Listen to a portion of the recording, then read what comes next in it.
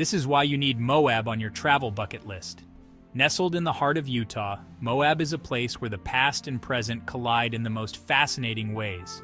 From its stunning red rock landscapes to its rich history, Moab offers a unique blend of natural beauty and cultural heritage that is sure to captivate any traveler. A town with a story straight out of the Wild West. Imagine walking down the streets of a town that has seen everything from Native American tribes to Spanish explorers and from rugged pioneers to modern-day adventurers.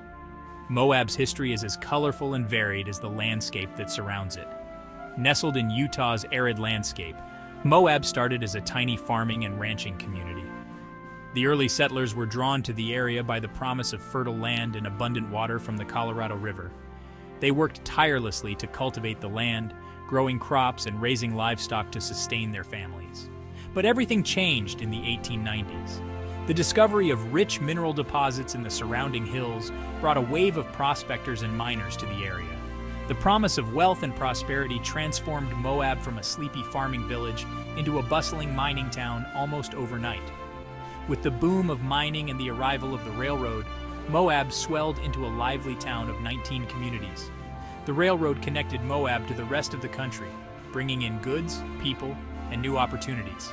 The town's population grew rapidly, and new businesses and services sprang up to meet the needs of the growing community. When it needed a name, William Pierce, a farmer and part-time dentist, suggested Moab, reflecting its biblical, dry, sandy wilderness. The name Moab is derived from an ancient kingdom mentioned in the Bible, known for its arid and rugged terrain. It was a fitting name for a town surrounded by the stark beauty of the Utah desert. The name stuck, and Pierce became its first postmaster.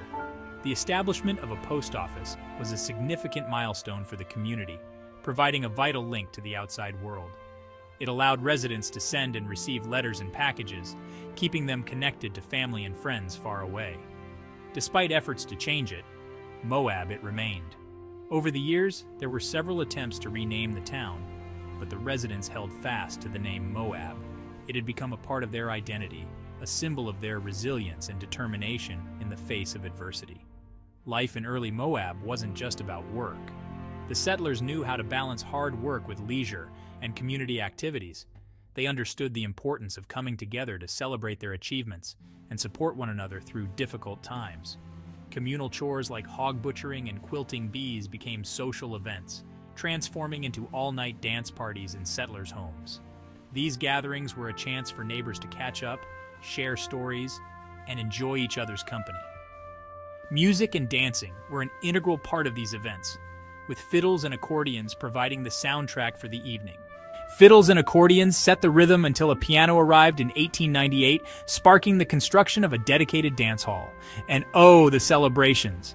The arrival of the piano was a game changer, adding a new dimension to the music and inspiring the community to build a proper dance hall. This new venue became the heart of Moab's social life, hosting dances, concerts, and other events that brought people together. The 4th of July and Pioneer Day saw women serenading the streets at dawn, followed by horse races, picnics, and children's skits. These celebrations were a highlight of the year, a time for the entire community to come together and enjoy a day of fun and festivities. The streets were filled with the sounds of laughter and music, and the air was thick with the smell of delicious food. By the early 20th century, Moab was thriving.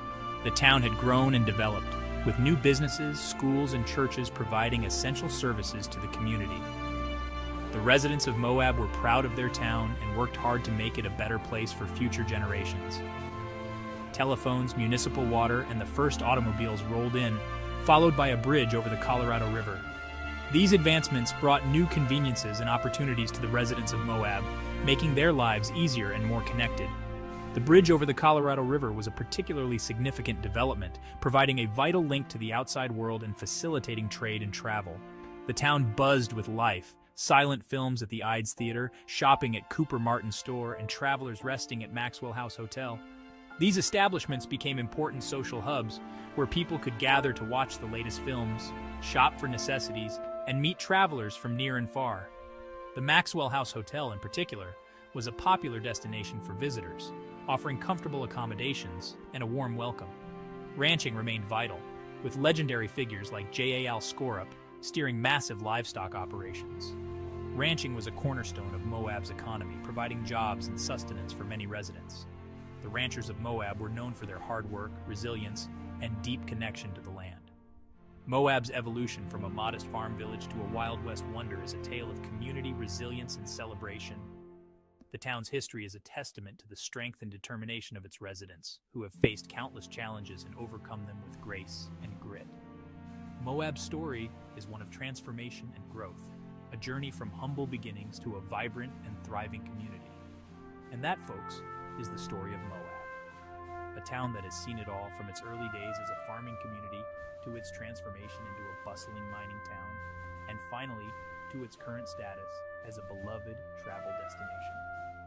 Moab's rich history and stunning landscapes make it a must visit for anyone looking to experience the true spirit of the pack your bags, hit the road, and come see for yourself.